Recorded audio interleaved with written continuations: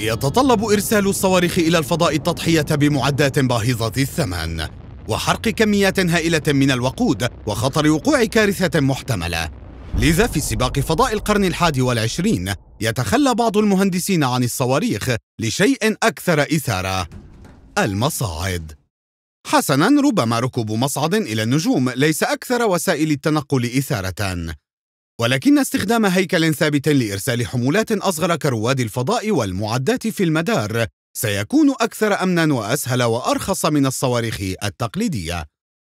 على متن صاروخ فالكون 9 من سبيس إكس، كل كيلوغرام من البضائع يكلف 7500 دولار لنقله إلى المدار. لقد صممت مصاعد الفضاء لتقليل تلك التكلفة بنسبة 75%، لقد استقصى الباحثون هذه الفكرة منذ 1895 عندما ألهمت زيارة لما كان وقتها أطول مبنى في العالم العالم الروسي قسطنطين تسيولكوفسكي. تخيل تسيولكوفسكي بناء طوله آلاف الكيلومترات. ولكن حتى بعد مرور قرن ليس هناك مادة قوية بما يكفي لحمل مبنى كهذا. لحسن الحظ توفر قوانين الفيزياء تصميما بديلا وواعدا. تخيل أن تقفز على carousel سريعة الدوران بينما تحمل حبلا مربوطا بصخرة. طالما تدور ال carousel فسيظل الحبل والصخرة في وضع أفقي ومرتفعين بوساطة قوة الطرد المركزي. إذا كنت تمسك بالحبل فستشعر بهذا التسارع الظاهر بالقصور الذاتي الذي ينبذ الصخرة بعيدا عن مركز ال carousel الدوارة.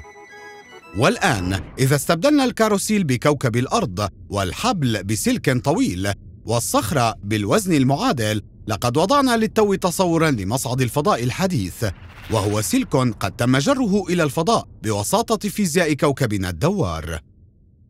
لكي ينجح هذا يجب أن يكون الوزن المعادل بعيدا بدرجة كافية بحيث تكون قوة الطرد المركزي الناتجة عن دوران الأرض أكبر من قوة جاذبية الكوكب. تتوازن هذه القوى على ارتفاع 36 ألف كيلومتر تقريبا فوق السطح. لذلك يجب أن يكون الوزن المعادل أكبر من هذا الارتفاع. الأجسام الموجودة على هذه المسافة المحددة تكون في مدار ثابت بالنسبة للأرض مما يعني أنها تدور حول الأرض بنفس معدل دوران الكوكب. وبالتالي تظهر ثابتة في السماء. يمكن أن يكون الوزن المعادل نفسه أي شيء حتى لو كان كويكبا قد تم أسره. من هنا يمكن إطلاق السلك عبر الغلاف الجوي وتوصيله بمحطة أساسية على سطح الكوكب. ولزيادة تسارع الطرد المركزي إلى أقصى حد يجب أن تكون نقطة الارتكاز هذه قريبة من خط الاستواء. وبجعل محطة التحميل قاعدة محيطة متنقلة يمكن نقل النظام بأكمله حسب الرغبة مما يسمح له بالمناورة حول الطقس القاسي وتفادي الحطام والأقمار الصناعية في الفضاء. بمجرد إنشائها يمكن تحميل البضائع على أجهزة تسمى المتسلقين والتي من شأنها سحب الطرود على طول السلك وداخل المدار. تتطلب هذه الآليات كميات هائلة من الكهرباء والتي يمكن توفيرها بوساطة الألواح الشمسية أو حتى الأنظمة النووية. تقدر التصميمات الحالية أن الأمر سيستغرق حوالي ثمانية أيام لرفع جسم ما لمدار ثابت بالنسبة للأرض وبفضل الحماية المناسبة من الإشعاع يمكن للبشر نظريا أن يخوضوا تلك المغامرة إذا ما الذي يمنعنا من بناء هذا الهيكل الضخم؟ لسبب واحد قد يشكل وقوع حادث بناء واحد كارثة، لكن المشكلة الرئيسة تكمن في السلك نفسه.